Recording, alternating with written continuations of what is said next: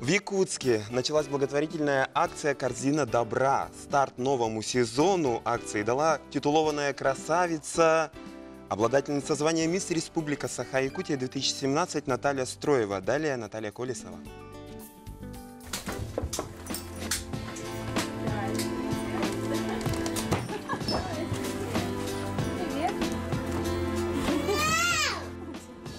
Старт новому сезону акции «Корзинка добра» дала титулованная красавица, обладательница звания «Мисс Республика Саха-Якутия» Наталья Строева.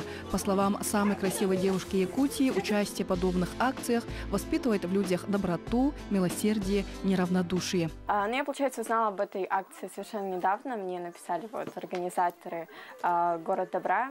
А, Я, получается, нач- ну, они мне предложили начать стартовать данную акцию, и она мне показалась очень такой, знаете, полезной и достаточно актуальной в наше время.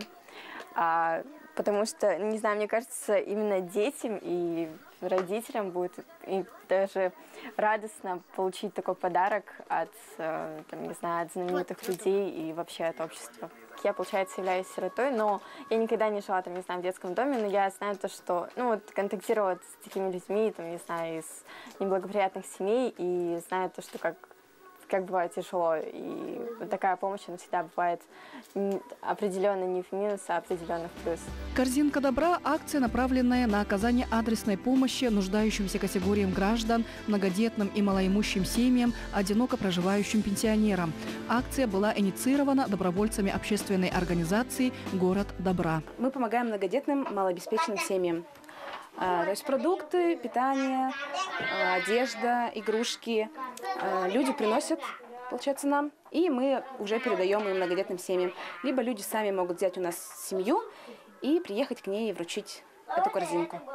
С каждым годом все больше и больше волонтеров становится, добровольцев. Это уже как, не знаю, такое вот что-то вот из раннего, тимуровцы такие вот.